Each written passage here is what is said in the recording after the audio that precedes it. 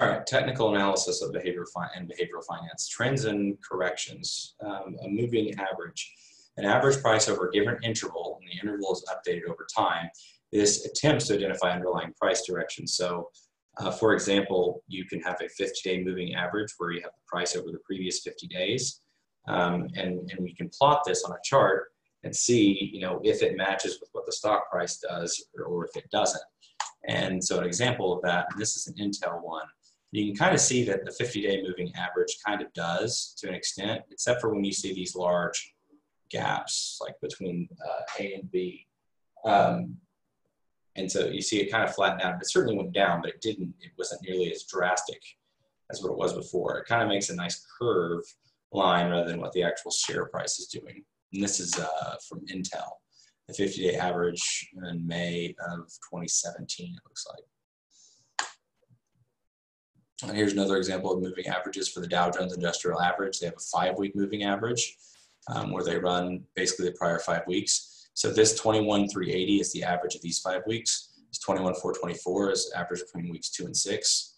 21,448 would be between weeks three through seven, and so on and so forth, um, where we're having a moving a moving average uh, based on five weeks. And you can kind of see that just smooth things out.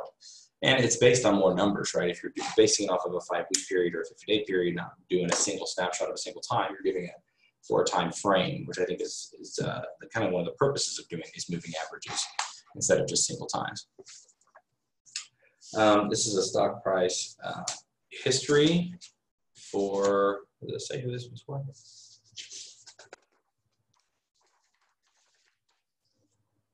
What does it say?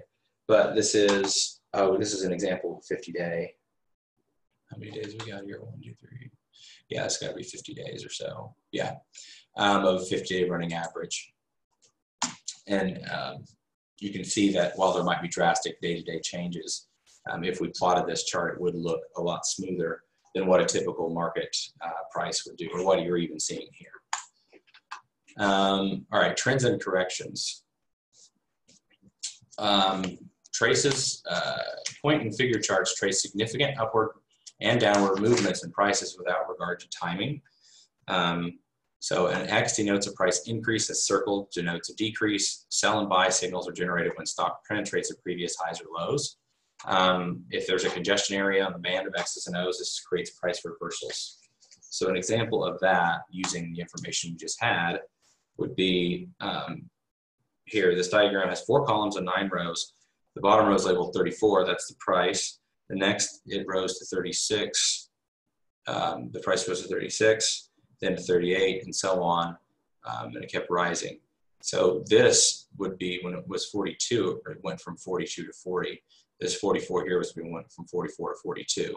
So this would be a de these are the decreases and these are the increases.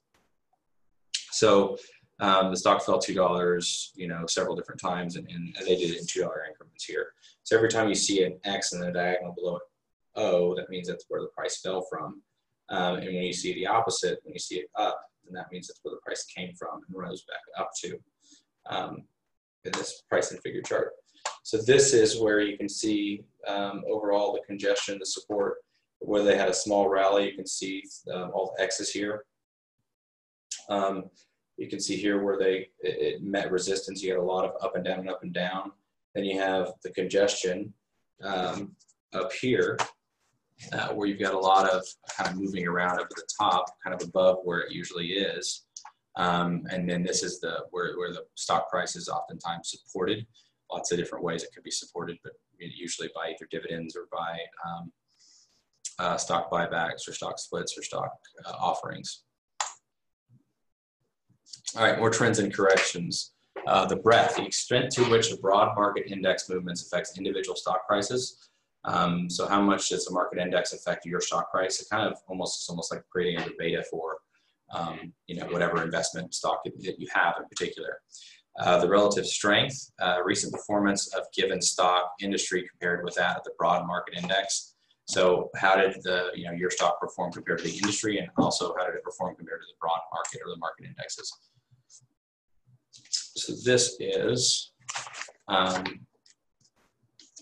uh, markets uh, diary issues.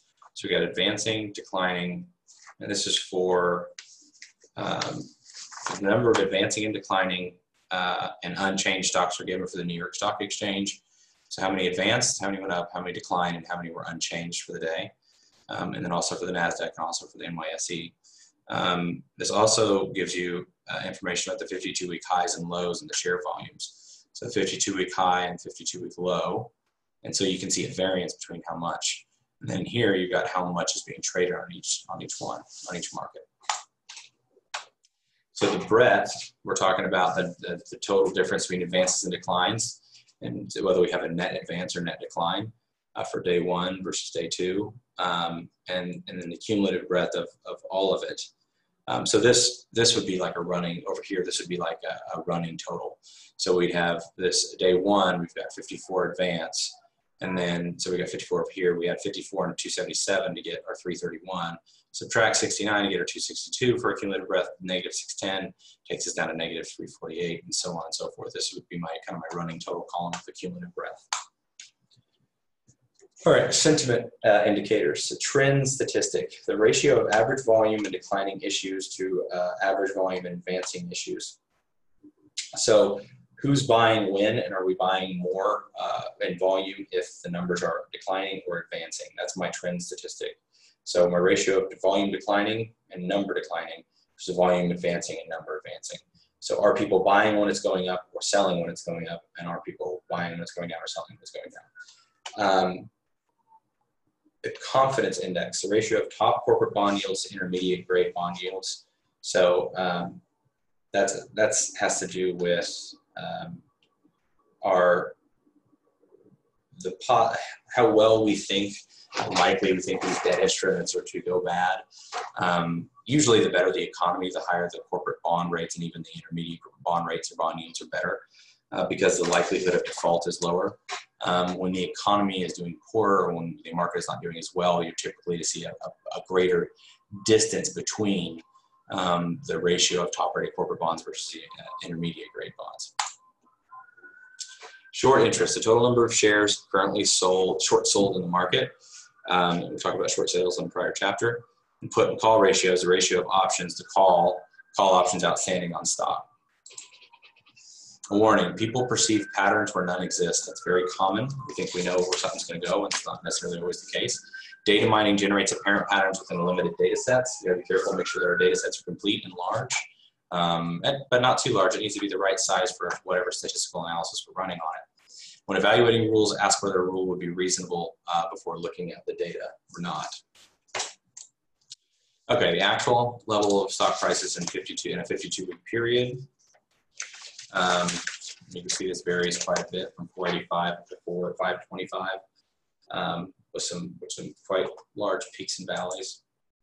This is a simulated stock price at, at uh, price levels of 52 weeks. So this is what the simulation said and overconfidence in this probably led to the larger swings that we saw on the prior chart. The actual stock prices uh, for 52 weeks. For the stock price changes. And this is a simulated weekly stock price change. So you can see, well, they're similar, they're not exactly the same. I kind of wish they overlaid these with one another, but it's okay. Okay, and that's it for chapter nine.